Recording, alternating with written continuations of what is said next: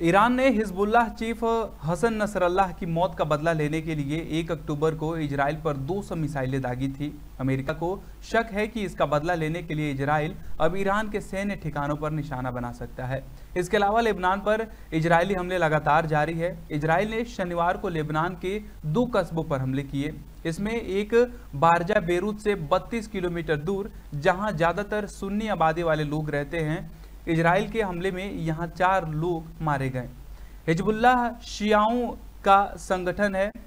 इसके चलते लेबनान जंग में इसराइल ने अब तक शिया इलाके को निशाना बनाया था।